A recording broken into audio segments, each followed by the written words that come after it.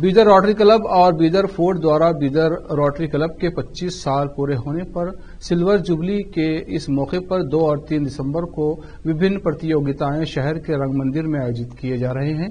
इसके अलावा 3 दिसंबर को सुबह साइकिल मैराथन रैली भी आयोजित किया जा रहा है।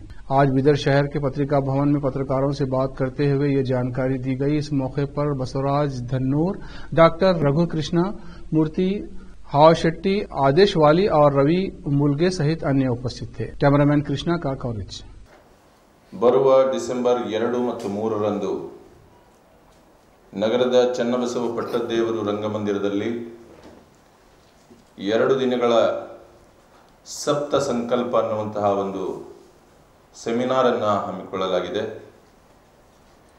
ಈ ನಮ್ಮ ಬೀದರ್ ಜಿಲ್ಲೆಗೆ ಕಲ್ಯಾಣ್ ಝೋನ್ ಅಂತ ನಾವು ಕರಿತೀವಿ ರೋಟ್ರಿಯಲ್ಲಿ ರೋಟ್ರಿ ಒಂದು ಭಾ ಇದರಲ್ಲಿ, ಸಂಸ್ಥೆಯಲ್ಲಿ. ಈ ಒಂದು ಕಲ್ಯಾಣ್ ಝೋನ್ನಲ್ಲಿ ಒಟ್ಟು ಒಂಬತ್ತು ರೋಟ್ರಿ ಕ್ಲಬ್ಗಳಿವೆ. ಈ ಎಲ್ಲ ರೋಟ್ರಿ ಕ್ಲಬ್ಗಳು ಸೇರಿ ಈ ಒಂದು ಸೆಮಿನಾರವನ್ನು ನಾವು ಆಯೋಜನೆಯನ್ನು ಮಾಡ್ತಾ ಇದ್ದೇವೆ. ಈ ಸೆಮಿನಾರಿನ ಅಧ್ಯಕ್ಷರಾಗಿರುವಂತಹ ನನ್ನ ಆತ್ಮೀಯ ಮಿತ್ರರಾದ ಬೀದರ್ನ ಪ್ರಖ್ಯಾತ ವೈದ್ಯರಾಗಿರುವಂತಹ ಡಾಕ್ಟರ್ ರಘು ಕೃಷ್ಣಮೂರ್ತಿ ಅವರೇ ಈ ಒಂದು ಸೆಮಿನಾರ್ನ ಕಾರ್ಯದರ್ಶಿಯಾಗಿರುವಂತಹ ಪ್ರಖ್ಯಾತ ಇಂಜಿನಿಯರ್ ಆಗಿರುವಂಥ ಹಾವಶೆಟ್ಟಿ ಪಾಟೀಲ್ ರೇ ನಮ್ಮ rotary pulse polio district chairman ಆಗಿರುವಂತಹ ಪ್ರಖ್ಯಾತ ಇಂಜಿನಿಯರ್ ರವಿ ಅವರೇ, ರೋಟ್ರಿ ಕ್ಲಬ್ ಬೀದರ್ನ ಅಧ್ಯಕ್ಷರಾಗಿರುವಂತಹ ಚಂದ್ರಕಾಂತ್ ಕಾಡಾದಿ ಅವರೇ rotary club Bidar queens club ಅಂದರೆ ಎಕ್ಸ್ಕ್ಲೂಸಿವ್ಲಿ ಹೆಣ್ಣು ಮಕ್ಕಳಿಗಾಗಿನೇ ಒಂದು ಕ್ಲಬ್ ಬೀದರ್ನಲ್ಲಿ ಇದೆ. ಅದರ ಅಧ್ಯಕ್ಷರಾಗಿರುವಂತಹ ರುಚಿಕಾ ಶಾ ಅವರೇ. ಆಮೇಲೆ ರೋಟರಿ ಕ್ಲಬ್ ಹುಮ್ನಾಬಾದಿನ ಅಧ್ಯಕ್ಷರಾಗಿರುವಂತಹ ನಾಗರಾಜ್ ಕರ್ಪೂರ್ ಅವರೇ. ರೋಟ್ರಿ ರೋಟರಿ ಕ್ಲಬ್ ಬೀದರ್ ಫೋರ್ಟ್ನ ಕಾರ್ಯದರ್ಶಿಯಾಗಿರುವ ಗುಂಡಪ್ಪ ಗೋಧಿ ಅವರೇ. ಈಗ ತಾನೇ ಈ ಒಂದು ಸಂದರ್ಭದಲ್ಲಿ ನಾವು ಒಂದು ಹೊಸ ರೋಟರಿ ಕ್ಲಬ್ ಅನ್ನ, ಅಂದ್ರೆ ಒಂಬತ್ತನೇ ರೋಟರಿ ಕ್ಲಬ್ ಅನ್ನ ರಚನೆ ಮಾಡಿದ್ದೇವೆ. ಅದು ಕೂಡ ಎರಡನೇ ತಾರೀಕು ಉದ್ಘಾಟನೆಗೊಳ್ಳಲಿದೆ. ಅದರ ಒಂದು ಅಧ್ಯಕ್ಷರಾಗಿ ನಮ್ಮ ಸರ್ದಾರ್ ಬಲ್ಬೀರ್ ಸಿಂಗ್ ಅವರ, ಸುಪುತ್ರನಾದ ಪುನೀತ್ ಸಿಂಗ್ ಅವರು ಅಧ್ಯಕ್ಷರಾಗಿದ್ದಾರೆ. ಹಾಗೆ ಪೂಜಾ ಜಾರ್ಜ್ ಸ್ಯಾಮುಲ್ ಅವರು ಕಾರ್ಯದರ್ಶಿಯಾಗಿದ್ದಾರೆ. ಅವರಿಬ್ಬರು ಇವತ್ತು ಬರಲಿಕ್ಕಾಗಿಲ್ಲ. ಈ ಒಂದು ಕ್ಲಬ್ಬಿನ ಉಪಾಧ್ಯಕ್ಷರಾಗಿರುವಂತಹ ಆದೀಶ್ ವಾಲಿ ಅವರು ಹಾಗೂ ಜಂಟಿ ಕಾರ್ಯದರ್ಶಿಯಾಗಿರುವಂತಹ ಸ್ಫೂರ್ತಿ ಧನ್ನೂರ್ ಅವರು ಹಾಗೂ ಇಲ್ಲಿ ನೆರೆದಂತ ಎಲ್ಲ ಪತ್ರಕರ್ತರೆ. ಇದು ಏನಂದ್ರೆ rotary club of Bidar new century ಕಡೆಯಿಂದ family planning association of ಇಂಡಿಯಾನಲ್ಲಿ doctor Krishnamurthy memorial women's cancer detection centre ಒಂದು ಪರ್ಮನೆಂಟ್ ಪ್ರಾಜೆಕ್ಟ್ ಮಾಡಿದ್ದೀವಿ. ಅಲ್ಲಿ ಸುಮಾರು ಐದರಿಂದ ಆರು ಲಕ್ಷ ರೂಪಾಯಿ ಖರ್ಚಾಗ ಆಗಿದ್ದು ಬ್ರೆಸ್ಟ್ ಕ್ಯಾನ್ಸರ್ ಮತ್ತು ಸರ್ವೈಕಲ್ ಕ್ಯಾನ್ಸರ್ ಸ್ಕ್ರೀನಿಂಗ್ ಎಕ್ವಿಪ್ಮೆಂಟ್ ತಂದು ಕೊಟ್ಟಿದ್ದೀವಿ ಅವ್ರಿಗೆ. ಅಲ್ಲಿ ಈಗ ರೆಗ್ಯುಲರ್ ಬೇಸಿಸಲ್ಲಿ ಫ್ರೀಯಾಗಿ ಹೆಣ್ಮಕ್ಳಿಗೆ ಇದು ಎರಡು ಕ್ಯಾನ್ಸರ್ ಅಂದ್ರೆ ಯಾವ್ದು ಕಾಮನ್ ಇದೆಯೋ ಹೆಣ್ಮಕ್ಳಲ್ಲಿ ಬ್ರೆಸ್ಟ್ ಕ್ಯಾನ್ಸರ್ ಮತ್ತೆ ಸರ್ವೈಕಲ್ ಕ್ಯಾನ್ಸರ್ದು ಫ್ರೀ ಸ್ಕ್ರೀನಿಂಗ್ ಮಾಡ್ತಾ ಇದ್ದಾರೆ ಏನು ಅವ್ರಿಗೆ ಫೀಸ್ ತೊಗೊಳ್ತಾ ಇಲ್ಲ. ಮತ್ತೆ ಅವ್ರಿಗೆ ಪಾಸಿಟಿವ್ ಬಂದಿದ್ದು ಪೇಷಂಟ್ಗೆ ಫ್ರಿಮ್ಸ್ ಮತ್ತೆ ಇಲ್ಲ ಅಂದ್ರೆ ಕ್ಯಾನ್ಸರ್ ಹಾಸ್ಪಿಟಲ್ಗೆ ರೆಫರೆನ್ಸ್ ಕೊಡ್ತಾ ಇದ್ದಾರೆ ಅವ್ರು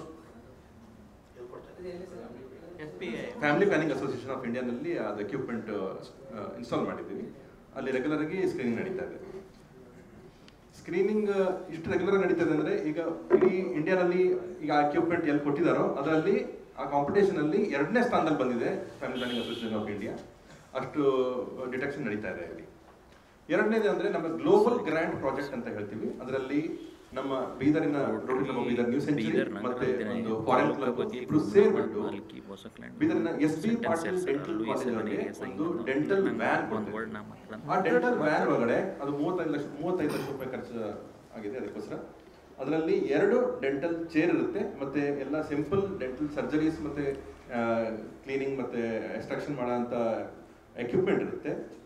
ಆಡಿಯೋ ವಿಜುವಲ್ ಎಕ್ವಿಪ್ಮೆಂಟ್ ಇರುತ್ತೆ ಟ್ರೈನಿಂಗ್ ಫೆಸಿಲಿಟಿ ಇರುತ್ತೆ. ಎಸ್ ಪಾಟೀಲ್ ಡೆಂಟಲ್ ಕಾಲೇಜಿನ ಡಾಕ್ಟರ್ಸ್ ಅದರಲ್ಲಿ ಹಳ್ಳಿ ಹಳ್ಳಿಗೆ ಹೋಗ್ಬಿಟ್ಟು ಅಲ್ಲಿ ಜನಕ್ಕೆ ಅಲ್ಲೇ ಟ್ರೀಟ್ಮೆಂಟ್ ಕೊಡ್ತಾರೆ ಯಾಕೆ ಅಂತಂದ್ರೆ ಈಗ ನಿಮ್ಗೆ ಗೊತ್ತು ಹಳ್ಳಿ ಹಳ್ಳಿಗೆ ಪಿ ಎಚ್ ಸಿ ಇದೆ ಸಿ ಎಚ್ ಸಿ ಇದೆ ಆದರೆ ಡೆಂಟಿಸ್ಟ್ ಭಾಳ ಕೊರತೆ ಇದೆ. ಈಗ ಯಾರಿಗೆ ಹಳ್ಳಿ ಜನಕ್ಕೆ ಡೆಂಟಲ್ ಟ್ರೀಟ್ಮೆಂಟ್ ತಗೋಬೇಕು ಅಂದರೆ ಅವರು ಬೀದರ್ಗೆ ಬರಬೇಕಾಗುತ್ತೆ ಅದರಲ್ಲಿ ಅವ್ರದ್ದು ಒಂದು ದಿನಕೂಲಿನೂ ವೇಸ್ಟ್ ಆಗುತ್ತೆ ಅವ್ರದ್ದು ಎಕ್ಸ್ಟ್ರಾ ಅವ್ರಿಗೆ ಎಫರ್ಟ್ ಹಾಕಬೇಕಾಗುತ್ತೆ. ಅದರಿಂದ ನಾವು ಅಲ್ಲೇ ಅಟ್ ದಿ ಡೋರ್ ಸ್ಟೆಪ್ ನಾವು ಅವ್ರಿಗೆ ಡೆಂಟಲ್ ಟ್ರೀಟ್ಮೆಂಟ್ ಕೊಟ್ಟರೆ ಸಣ್ಣ ಸಣ್ಣ ಪ್ರಾಬ್ಲಮ್ಸ್ ಅಲ್ಲೇ ಸಾಲ್ವ್ ಮಾಡ್ಬೋದು.